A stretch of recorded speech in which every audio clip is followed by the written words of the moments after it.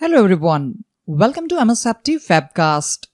In this video, we're going to see the steps on how to enable password write back in Azure Active Directory using Azure Active Directory Connect tool. With Azure Active Directory self-service password reset, users can update their password or unlock their account using a web browser. In hybrid environment, where Azure Active Directory is connected to an on-premises Active Directory environment, this scenario can cause passwords to be different between the two directories.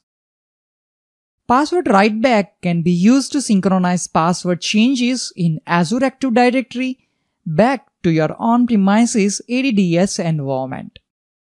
Azure Active Directory Connect tool provides a secure mechanism to send these password changes back to an existing on-premises directly from Azure Active Directory.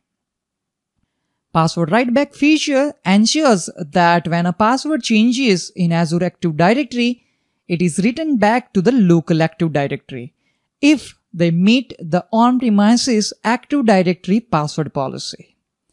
It all happens in real time and so users are notified immediately if their password could not be reset or changed for any reason. Before we are going to take a look at how to enable password writeback, first we need to look at the license requirements. Because to use this feature, you will need to have at least Azure AD Premium P1 license. Without Azure Premium P1 or P2 license, you can't use password writeback feature nor enable self-service password reset in Azure Active Directory. To correctly work with self-service password reset writeback, the account specified in Azure Active Directory Connect must have the appropriate permissions and options set. In our setup, we have used our domain admin's credential in Azure AD Connect, so we have required permissions. This is our domain controller named ws2k22-dc01.msfsurat.local. Our domain name is msfsurat.local. First step is to start Azure AD Connect configuration wizard. Let's click on Start button. Click on Azure AD Connect and again click on Azure AD Connect to start the wizard. You can also double click on the shortcut icon created on your desktop. On the welcome page, select configure. Click on customize synchronization options and then click next. We will now need to log in to the Azure Active Directory. Use Azure Active Directory Global Administrator's account for this. Already our global administrator username is there, just need to enter his password. Let me type the password and then click on next. It will connect to Microsoft Online to verify the user credential. Since multi-factor authentication is already in place, it is asking me to re-enter the user password one more time.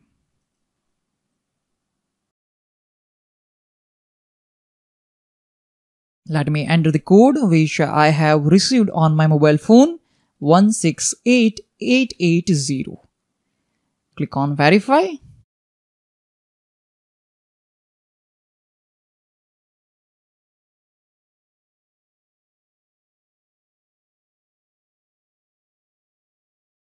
Uh, here we don't need to change anything. Already our domain is added there.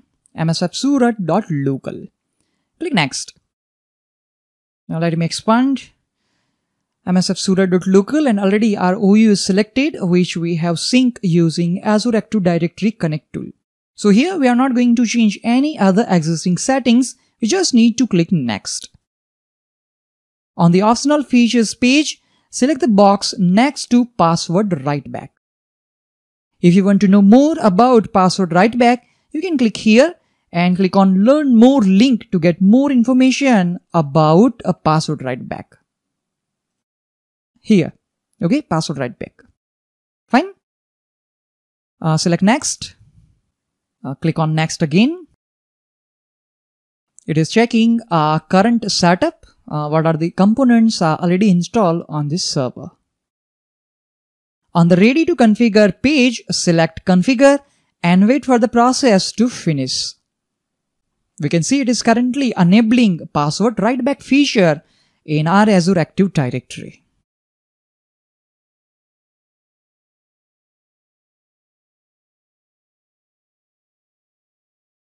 As we can see, Azure AD Connect configuration is succeeded and the synchronization process has been initiated. Let me click on exit to close this wizard. With password writeback enabled in Azure Active Directory Connect, now configure Azure Active Directory Self-Service Password Reset for writeback in Azure Active Directory. Go to Microsoft Edge web browser. Sign into the Azure portal using an account with global administrator permissions. You can access Azure AD portal using the URL https colon double slash aad.portal.azure.com. Under Manage, click on Password Reset we can confirm that the self-service password reset is enabled for all users in our Azure Active Directory. Already I have created one dedicated video on how to enable self-service password reset for specific user or group in Azure Active Directory. I'll provide the link in the description area so you can watch out that video as well. Now we need to click on on-premises integration.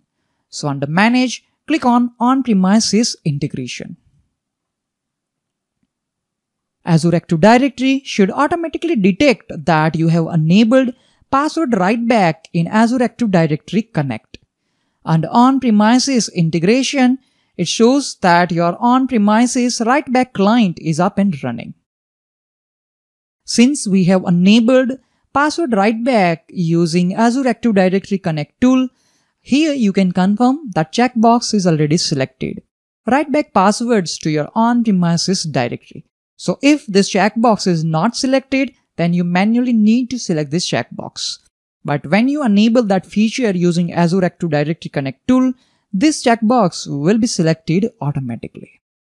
Also, I want to select this checkbox, allow users to unlock accounts without resetting their password.